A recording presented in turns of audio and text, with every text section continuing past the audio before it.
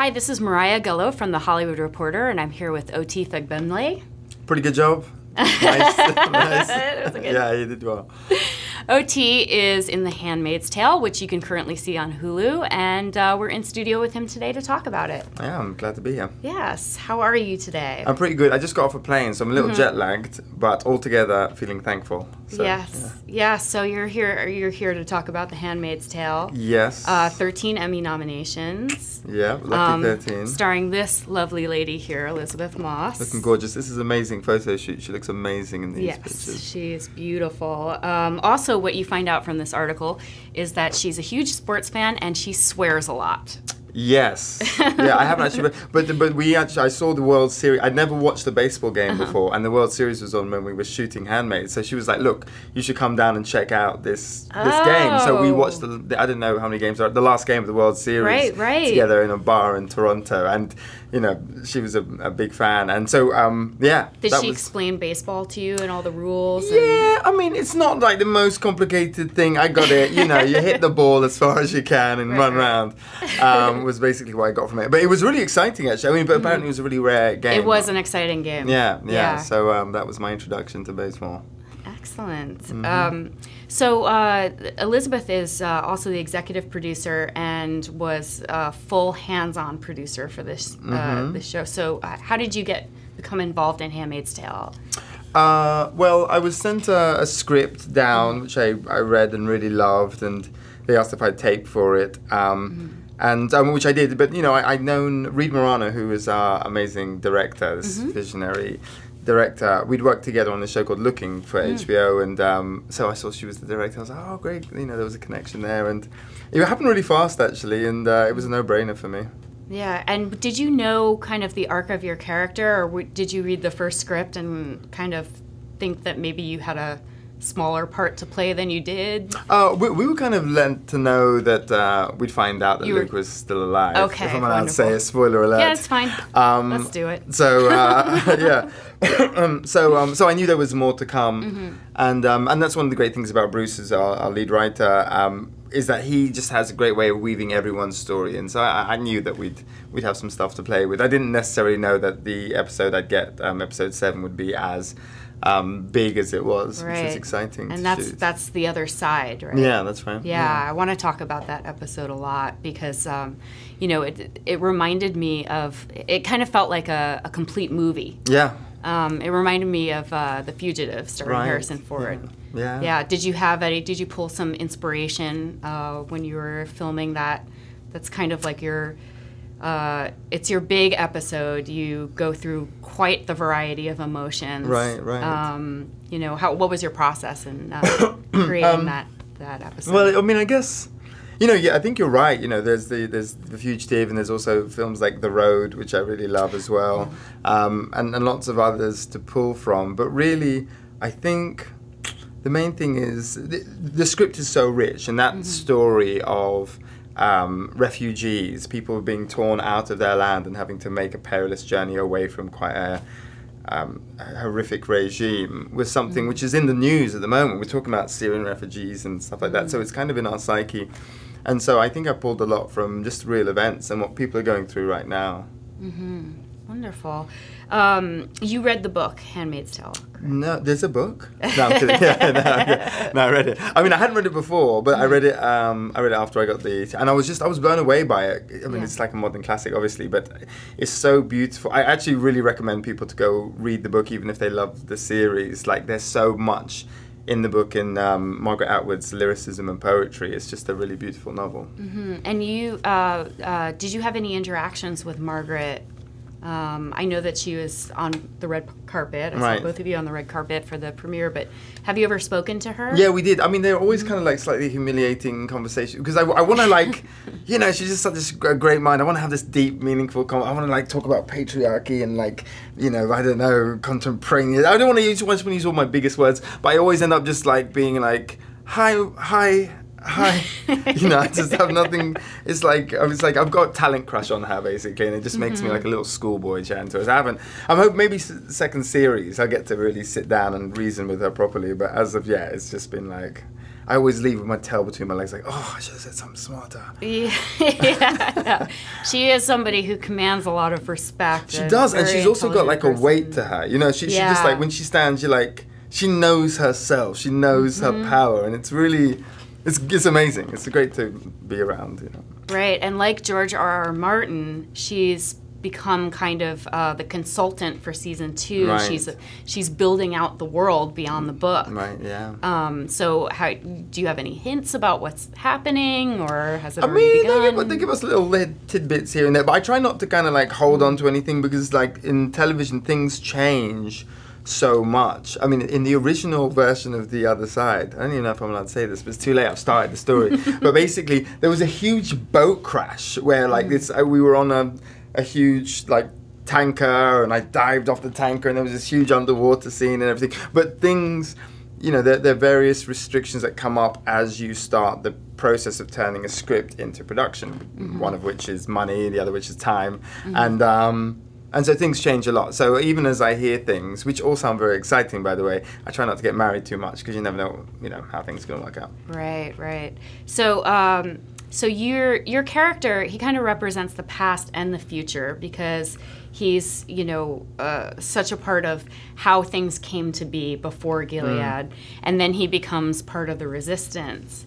Um, what was it like filming like the beginning? Like um, one scene that everybody talks about is the the protest. Mm-hmm. Um, you know, the women start becoming hunted down. You start right. realizing that there's more death and destruction involved right. with the new regime or the changeover. Yeah, um, yeah. It's it's really interesting to be part of that because I guess it's a question we all have in our lives. At what point do we go? Well, that's too much. At what point do we stand up and go, no, that that's that's way out of line. And I think what happens for Gilead to happen is people protested too late. People used their votes too late. People stood up and were counted too late, and and things got away from them. I think Luke, in many ways, is guilty of that. He's kind of an appeaser. He's a placater. He's a person that it will come around. It will mm. work out.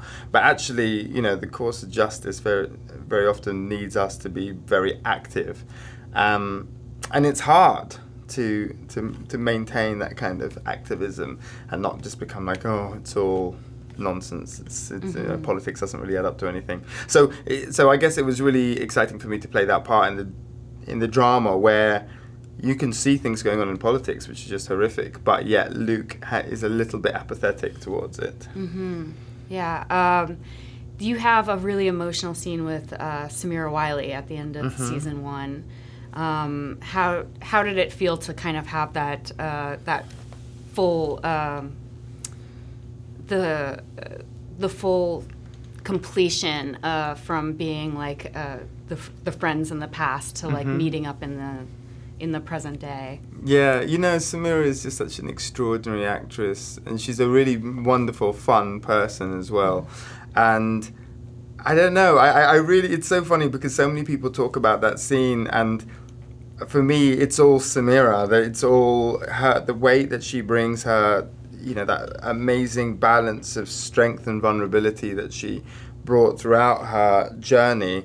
Um, and so, in many ways, I feel like you know that's it's so much her moment. And, and when we we filmed the scene, I was just kind of really blown away by by what she did there. But I think, especially for Luke, who's what's very hard, I think, for those who become separated from their families by war and by um, becoming uh, refugees and stuff like that, is, is the lack of information, the lack of connection. I mean, I think mm. that's one of the things that we as humans need is that sense of connection. And it's such a relief, I think, for Luke to be able to have that connection to the other side and to be able to get a sense of what's going on for his wife and child. And so it was a really big moment for him as well. Mm-hmm. Wonderful. Um, so uh, your your cast and crew have not shied away from uh, tying kind of the the politics that are happening in uh, *Handmaid's Tale* with the politics that are happening today. Mm. you know what? What about? I mean, there's so many aspects. There's the separation of church and state. There's mm-hmm. gender identity, sexual orientation mm-hmm. identity, violence towards citizens, mm-hmm. refugees.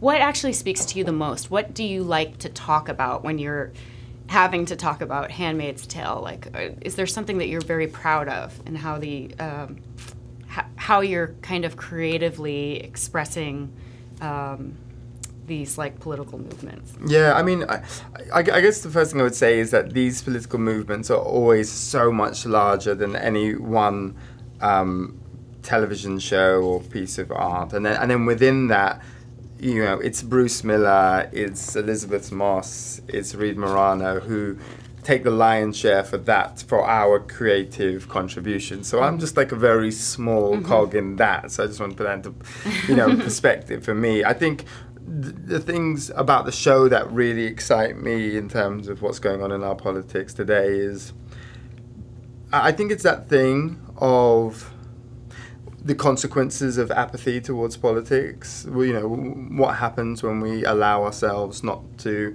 engage in a very vigorous way against forces that would undermine us.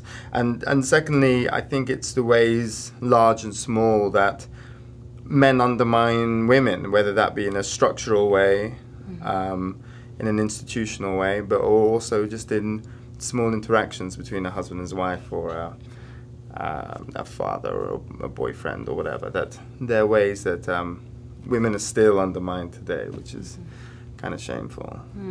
The Handmaid's Tale is kind of um, the possession or ownership on steroids, basically, Right. that people have over one another. The power plays between men and women. Right, right. But I think also it can it kind of can reflect dynamics that we see in our lives. I mean, sure, we don't have this kind of um, you know religious fascist system necessarily, or to the extent it, it exists in The Handmaid's Tale, and and maybe a husband can't take exactly the same liberties that exist. But these dynamics do play out, and you know everything from the amount of violence women face at the hands of men to the way men have set up systems where they dominate the courts and they dominate the big companies and they dominate the way laws are made. Um, these things are here um, now. Yeah. There's enough to fight against now. I found it interesting the statistic that a lot of people bring up is that a lot of white women voted for Trump, but it's actually married white women as opposed to hmm. single white women. That's interesting.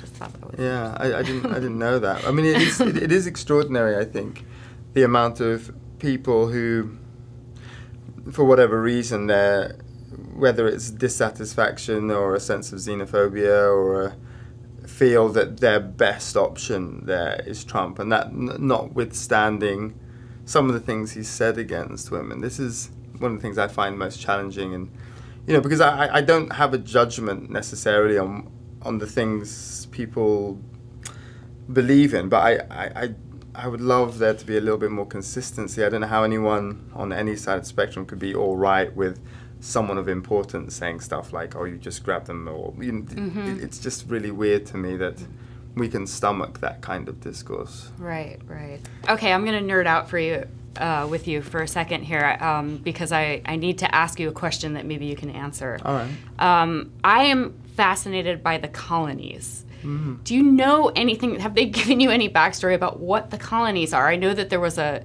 some sort of a uh, disaster, a, um, ecological disaster Mm-hmm. environmental disaster, but beyond that, you know, there's just this mystery of like, we'll send you to the colonies and you'll surely die. Mm-hmm.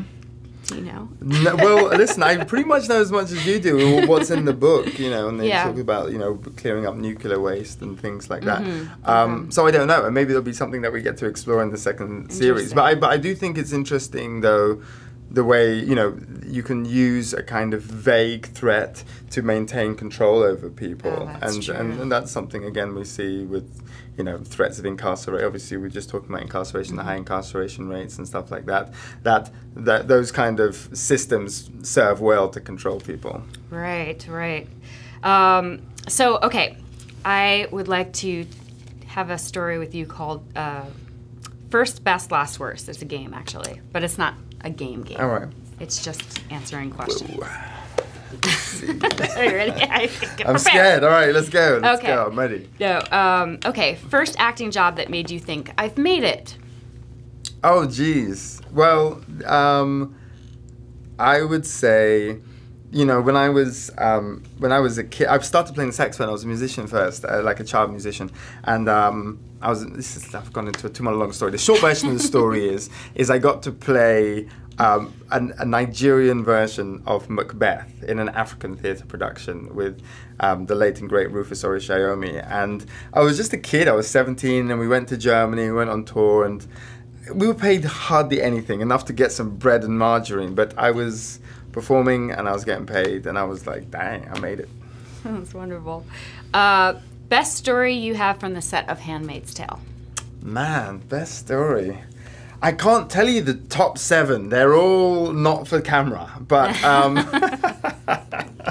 I don't, um, yeah. So I, I, I, don't really know. I mean, really, for, for me, the, the best times were um, with, with just me, Lizzie, and Hannah Banana Jordana, as I like to call her, my little mm-hmm. daughter in it, because um, they're they're both really fun, mm-hmm. dynamic people, and so all the scenes, like we, we had that scene when we were traveling in the boot of the car uh-huh. and uh, we were kind of like in a fake of a car, but it just meant the three of us were like just cramped on top of each other, and we would just laugh and tell jokes and stuff like that. So that was my favorite memory. I don't know. Oh, that's nice. Yeah. What about the pancake scene? Was that fun to do? Oh my god! I mean, I, I could hardly stay in character because I was literally just watching and being like, "This is the most adorable thing I've ever seen." And, and the thing, really cute. no, literally, you could have, there, there's there's an hour's worth of footage. They could have had a whole episode where you just watch these two make pancakes because they were hilarious and so beautiful. I just, you know I, have got yeah, I love those two. That's sweet. Um, last time you were recognized in public. Um, an hour ago, I think, in the in, in the, the, coffee, coffee shop. Yeah. Nice. Um, yeah. is um is LA a place where people will kind of come up to you more often than in London or mm. any of the other places you live? No, I don't know. I, I don't know if I haven't I haven't done enough of a census to really measure it out, but um, yeah, I mean, people are excited about the show, and I think that's really, I've really felt that. Oh, that's nice. Are people asking you about the colonies? yeah, yeah, everyone is asking about the colony. I'm fed up with these colony questions. okay, worst audition experience. Too many. There was one where I had this audition. A friend of mine came round in the morning, and it was his birthday. And so I was like, "Look, okay, let's let's let me run lines with you." And he was like, "It's my birthday. Let's have a glass of wine." And I was like, "No, I've got an audition, dude." So he was like, "Come on, just have a little uh, half glass." I was like, "It was about three hours away, whatever." So I was like, "All right, fine. I'll have a little sip." Anyway, I don't really drink that much, so. by 2 p.m., I was kind of tipsy. And so I was like, oh no. And then I went into the audition and I was just like, it was just a car crash. It went so bad. And they were so expectant as well. They were like, here he is. And just because, like, on a half glass of wine, I'm a cheap date. uh, well, speaking of which, um, how is uh, Emmy night going to go down for you? Are you looking forward to it? Yeah, I guess so. I don't really know what to expect expect really You're out of it. I don't know. It depends on the mood I'm in. I'm not really. I'm a bit of a homebody to be honest. Mm-hmm. So I'm gonna have to like pump myself up for it. But I mean, I'm excited. I'm excited for the show. You know, it's mm-hmm. like. I, I, don't. I see it more about for the show and and and all our great artists who are nominated. Mm-hmm. Wonderful. Well, we will see you then. And Great. Uh, Ot, thank you so much for stopping by. It's been fun. I'm going to oh. find out about the colonies for you. I'm oh, thank you. Okay, right yeah, email me. Yeah. All right. Uh, oh, I wanted to ask you one more thing right. um, because I did see a show that you wrote and directed called Maxxx. Yes, Max with three X's, M A X X X. Can you explain that a little bit to us? Yeah, well, it basically it's about this pop star who was big back in when he was in his 20s and now he's in his mid 30s and he finds out his ex girlfriend is getting married. So, in mm-hmm. a bid to win her back, he tries to get famous again. But he's an idiot. So, it goes really badly. So, it's a comedy, and people can check it out on YouTube or if you follow me on any of the social medias, there's lots of posts up. It's really, really funny. Yeah, thanks. So, uh, yes, check him out on YouTube for Maxxx and then on Hulu for Handmaid's Tale. Thank you.